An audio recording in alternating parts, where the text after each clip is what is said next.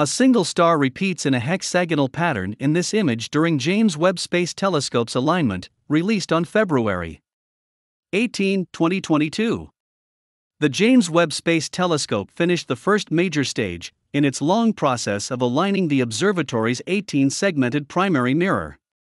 A single star that the observatory looked at was deliberately rendered 18 times into a hexagonal shape. Eventually, those 18 images will perfectly align into a single, sharp focus, but the interim result portrays a star repeated perfectly in a hexagonal pattern reminiscent of a stunning celestial snowflake.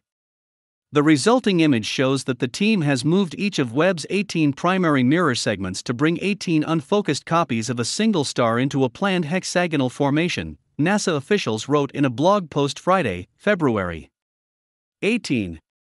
The star images are steered into this particular pattern so that they have the same relative locations as the physical mirrors, Matthew Lallo, systems scientist and telescopes branch manager at the Space Telescope Science Institute, which manages Webb, said in the release.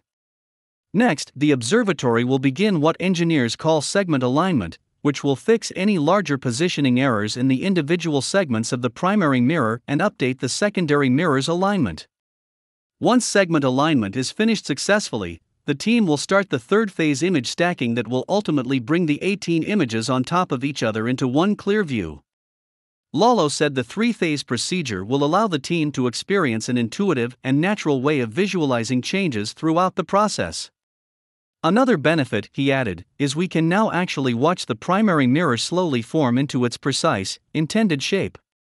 Properly aligning the mirrors is a main goal of Webb's commissioning, which is expected to conclude in the summer.